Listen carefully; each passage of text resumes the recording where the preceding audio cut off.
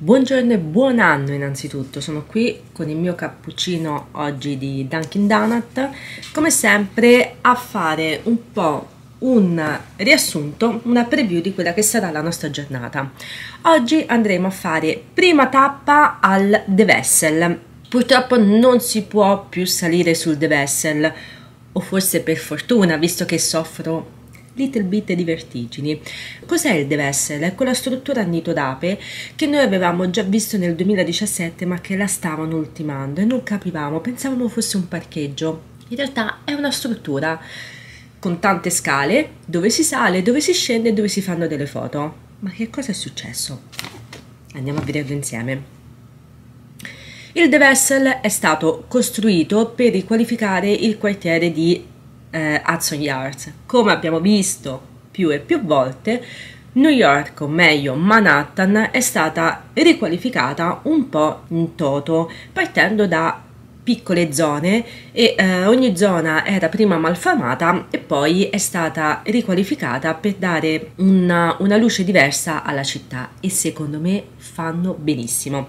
Quindi il deve essere stato costruito per riqualificare eh, la zona urbanistica di Hudson Yards.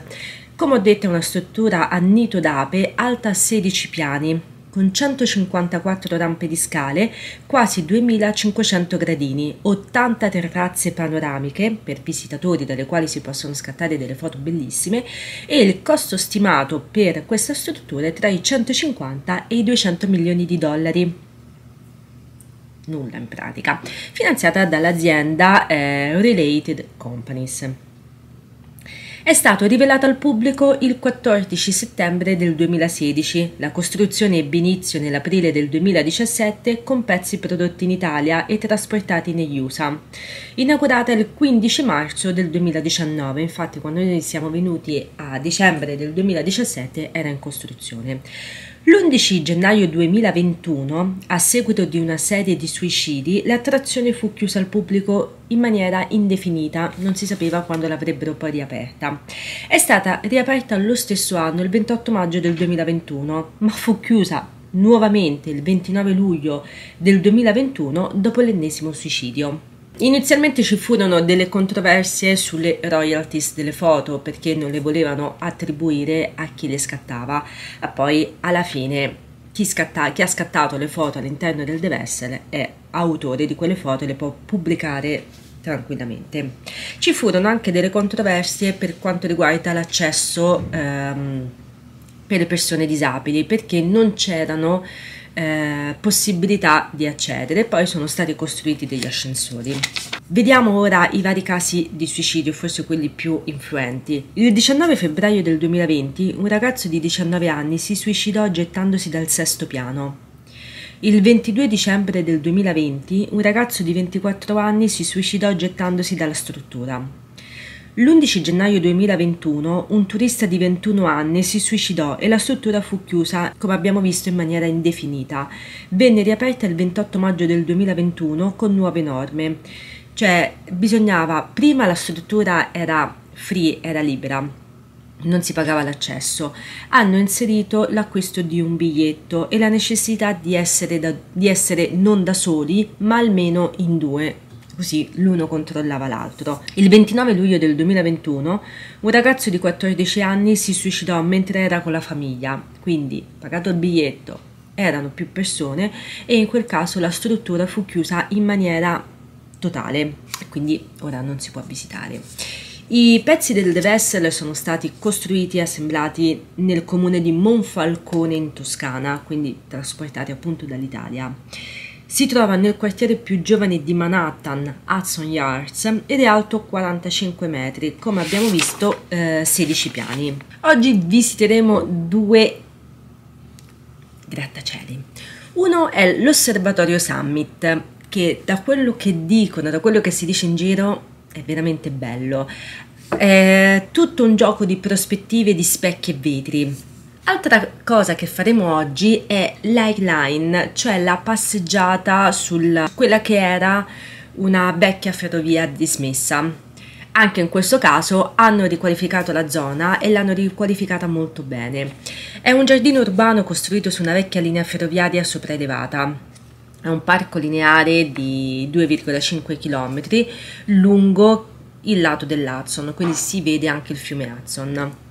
Va da Chelsea Market ad Hudson Yards, che è il quartiere più trendy di Manhattan. Noi partiremo da Hudson Yards perché abbiamo il biglietto del, del grattacielo e poi andremo verso uh, Chelsea Market. Lungo la struttura ci sono vari accessi, quindi non è che uno entra e deve uscire alla fine, ci sono vari ingressi intermedi. La sua storia risale agli anni 30, quando nel West Side della città circolavano i treni merci che rifornivano New York di carne. Infatti Chelsea Market è famoso per la carne. In seguito, quando l'autostrada cominciò a essere usata per il trasporto delle merci, i binari caddero in disuso e le erbacce cominciarono a spuntare conferendo loro un aspetto trascurato. Torniamo al degrado di New York. Negli anni 90 si pensava di smantellare i binari per far posto a nuove costruzioni, ma un'attenta associazione di quartieri di Chelsea, la Friends of Airline, la salvò per preservare questo pezzo di storia di New York e alla fine si decise di ripristinare i binari e trasformarli in un giardino urbano sopraelevato, il cui primo tratto è stato inaugurato nel 2009 la seconda e la terza sezione nel 2011 e 2014, The Spur l'ultima nel 2019. Quindi molto molto bella questa passeggiata che faremo oggi. Poi oggi c'è anche una bellissima giornata, mentre ieri pioveva, Bene. O- oggi passeremo anche a Soho. Soho è South of Houston Street. Era un'area industriale piena di fabbriche e il fascino del quartiere ha attirato le ricchezze che hanno reso i suoi edifici e le sue strade il luogo di nascita dell'industrial chic. Quindi oggi è un'area piena di bar, ristoranti e negozi molto trendy. Sempre questa cosa qui. New York è bella perché è un'araba fenice e quindi forse proprio perché il mio animale guida penso che sia l'araba fenice perché io passo dei momenti down ma poi mi risollevo e mi piace proprio per questo motivo New York. Dovremmo passare anche a Tribeca oggi perché voglio far vedere una cosa molto carina alla baby. Tribeca è nata come, indovinate un po'? Come è nata Tribeca? Come un'area industriale ed è poi diventata un quartiere bohemien con edifici che presentano la tipica scala d'emergenza sulla facciata, quelle che vediamo in pratica nei film. Qui si trova la caserma dei pompieri di Ghostbusters, il film del 1984, e l'andremo a vedere. Abbiamo parlato di Hudson Yards, visto che questa mattina la prima tappa la faremo proprio ad Hudson Yards, è il nuovo quartiere più in voga di New York. In pochi anni è passato da area abbandonata, da degrado totale al miglio d'oro delle residenze di lusso di Manhattan. Hudson Yards è considerato il più grande progetto immobiliare privato nella storia degli Stati Uniti. Non vedo l'ora di andare. Oggi saliremo anche su The Age, sicuramente lo conoscete. The Age è uno dei punti panoramici più spettacolari di New York perché ehm, è quella struttura che finisce a punta, quindi all'aperto, che ha il pavimento in vetro.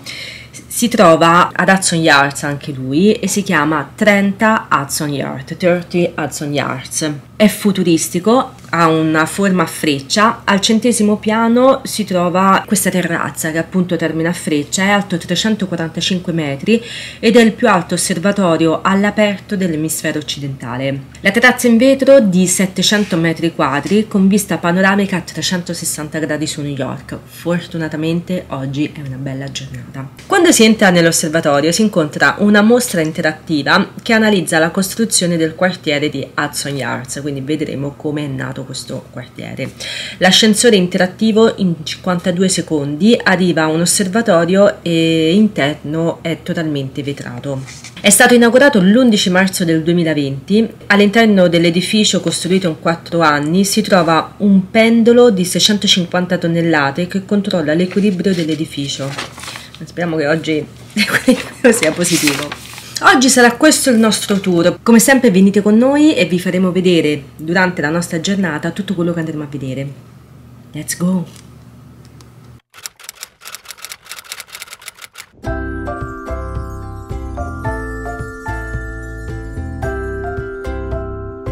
Di notte baldoria, di giorno non c'è nessuno.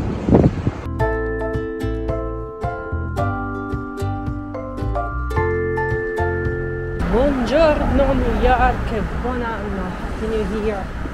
Le famose case di New York con le scale esterne, con le antincendio.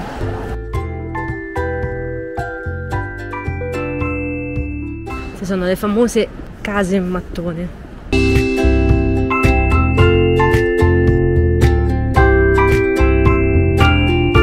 Domenica 1 gennaio, in una Manhattan che ancora dorme, siamo qui ad attendere il nostro autobus. Siamo al The Shops, al numero 20 di Hudson Yards, il centro commerciale di lusso di sette piani, dove si riunisce il meglio dell'universo della moda. Little Spain Market, al 10 di Hudson Yards, è un mercato con prodotti tipici spagnoli. Costruita per la riqualificazione urbanistica di Hudson Yards, The Vessel è una struttura a nido d'ape alta 16 piani, con 154 rampe di scale, quasi 45.000 gradini e 80 terrazze panoramiche per i visitatori. Al momento la struttura è definitivamente chiusa a causa dei tanti suicidi.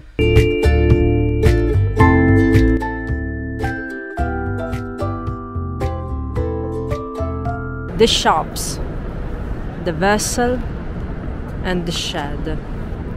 Questa è una struttura per teatri e il tetto è retrattile e cambia forma svelando un secondo edificio. Adesso entriamo al The Shops per andare a vedere The Age.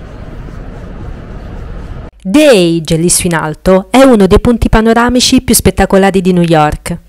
Per salire al The Age bisogna entrare al The Shops e salire al quarto piano. È aperto dalle ore 8 alle ore 24. Inizia l'avventura! Quando si entra nell'osservatorio si incontra una mostra interattiva che analizza la costruzione del quartiere di Hudson Yards. Anche l'ascensore è interattivo e con 52 secondi si arriva a un osservatorio interno totalmente vetrato. Inaugurato l'11 marzo del 2020, ospita gli uffici di aziende famose come la CNN. Vi ricordo che mi dà fastidio il vuoto, eh? Vi stupirò con effetti speciali, adesso attraverso il vetro.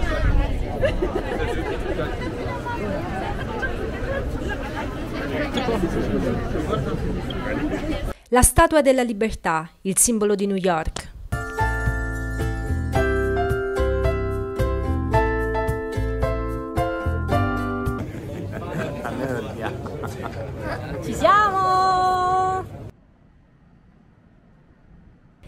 L'Highline è un giardino urbano costruito su una vecchia linea ferroviaria sopraelevata. Siamo sull'Highline, ieri pioveva e oggi c'è vento, tanto vento. Una passeggiata lunga circa 1,5 km sul lato dell'Hudson che va da Chelsea Market ad Hudson Yards, il quartiere più trendy di Manhattan.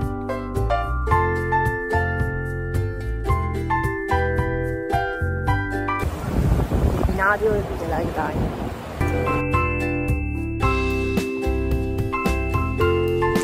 Chelsea Market è uno dei mercati alimentari più famosi di New York. Un tempo era la fabbrica dei biscotti Nabisco, quella che ha inventato i biscotti Oreo per intenderci.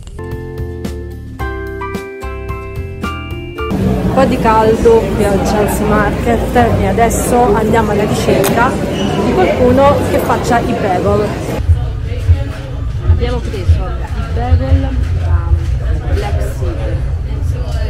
Buoni. Piaciuto il tuo? sì. Molto pieno anche molto ricco. Il tuo com'è? buono il mio però è semplice. Vicino Chelsea Market c'è Starbucks Roastery beh un giro lo dovevamo fare Passeggiando per Manhattan abbiamo anche incontrato un mini Flatiron Building. Carino, eh? Siamo al 75 e mezzo di Bedford Street. Questa è la casa più stretta di New York e qui ha abitato Cary Grant. Carino. Quanti alberi di Natale buttati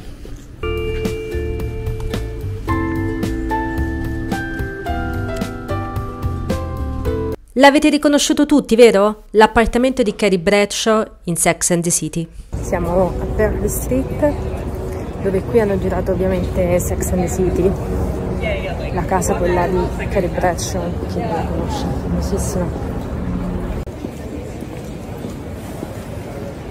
E dal set di Sex and the City al set di Friends è un attimo. E dopo Sex and the City siamo sul set di Friends. Sul set di Friends. E non poteva mancare la caserma di Ghostbusters. Sulla ventitreesima strada tra la Fifth Avenue e la Broadway si trova il Flatiron Building, la cui punta è larga solamente 2 metri è alto 87 metri con i suoi 22 piani. All'angolo della strada troviamo il negozio della Lego e poi Italy. Tra i grattacieli più belli di New York il Chrysler Building. Ed eccoci a Bryant Park, parco pubblico di circa 39.000 metri quadrati. Siamo a Bryant Park. Io adoro questo parco. L'area attualmente occupata dal parco fu istituita nel 1823 come cimitero per i poveri e così rimase fino al 1840, quando centinaia di cadaveri furono trasferiti a Worth Island. Nel 1847 l'area fu adibita a parco, ma il nome Brian Park gli fu dato solo nel 1884 in onore del giornalista del New York Times William Cullen Bryant. Il parco è gestito da un'associazione senza scopo di lucro, la Bryant Park Corporation, fondata nel 1980. Da cimitero ottocentesco divenne negli anni 60 luogo di spaccio. Chiuso nel 1989, fu ripulito dalla malavita e usato per la moda dal 1994 al 2009. Infatti era il luogo dove due volte all'anno veniva organizzata la settimana della moda di New York. Da giugno ad agosto ogni lunedì sera si può assistere a un cinema all'aperto con proiezione gratuita. In inverno si svolge il Winter Village con tanti mercatini natalizi e la pista di pattinaggio all'aperto, The Rink. La prenotazione per la pista si può fare solamente tramite sito con pagamento con carta di credito. Grand Central Terminal è la stazione ferroviaria più grande del mondo, sia per numero di banchine, 44, sia per numero di binari, 67.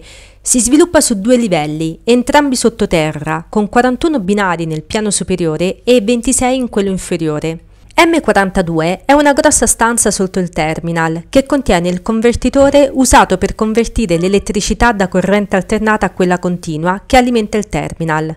Dove si trova è un segreto e non può essere trovato su mappe, anche se è stato trasmesso in tv. Nonostante fosse un segreto, Hitler ne era a conoscenza e inviò due spie che vennero arrestate dall'FBI prima che sabotassero il convertitore.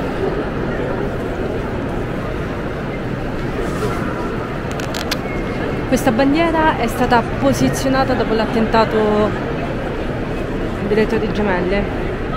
L'orologio a quattro facce, ognuna in opale, ha un valore stimato tra i 10 e i 20 milioni di dollari. Il soffitto originale del 1912 fu sostituito alla fine del 1930 a causa della caduta dell'intonaco. Per decenni questo soffitto fu oscurato a causa del catrame e della nicotina rilasciati dalla combustione del tabacco. Vicino al cancro c'è una piccola macchia scura per ricordare quanto era sporco il soffitto prima del restauro degli anni 90. Secondo il fondatore e benefattore della stazione, Cornelius Vanderbilt, il soffitto è dipinto al contrario perché la mappa stellare avrebbe dovuto essere vista da una prospettiva divina e non umana. Proprio di fronte all'Oyster Bar c'è questa parte qua dove le persone parlano normalmente a un angolo e si sente perfettamente bene all'angolo opposto. Adesso parliamo con loro. Ragazzi, mi dite qualcosa per favore? Dimmi qualcosa, Giulia. È quello che vuoi. Dove andiamo? Adesso andiamo a fare shopping. Dove andiamo a fare shopping? Non lo so, qua in giro. Tipo? E tipo non lo so. Io comunque sto parlando qua e Giulia è giù in fondo dietro a quelle ragazze là. American Girls è un negozio di bambole amato da tutte le bambine americane e non solo, infatti noi siamo qui. Qui potete trovare ogni tipologia di bambola, molto somigliante a ogni bambina, e ci sono anche le bambole più piccole e anche i maschietti. è fantastico, accessori, un bar dedicato a loro, parrucchiere. Wow. È arrivato il nostro turno di pattinare a Bryan Park. Gambe a pezzi.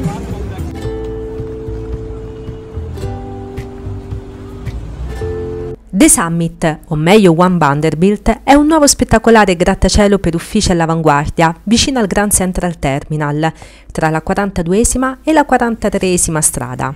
È alto 427 metri e grazie alle sue prospettive di specchi e vetri si possono scattare foto migliori.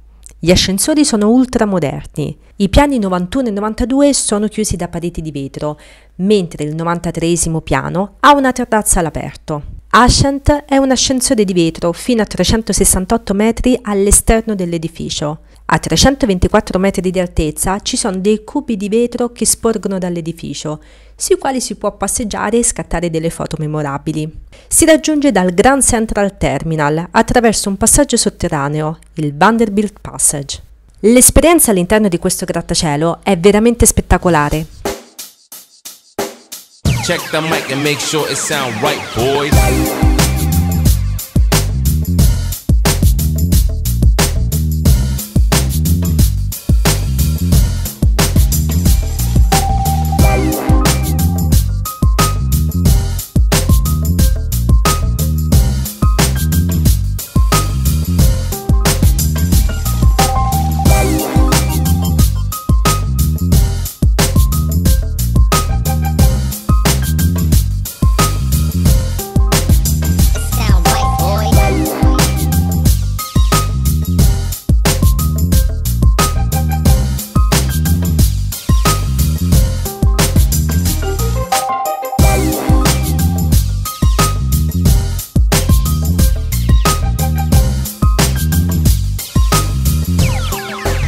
It sound right, boys.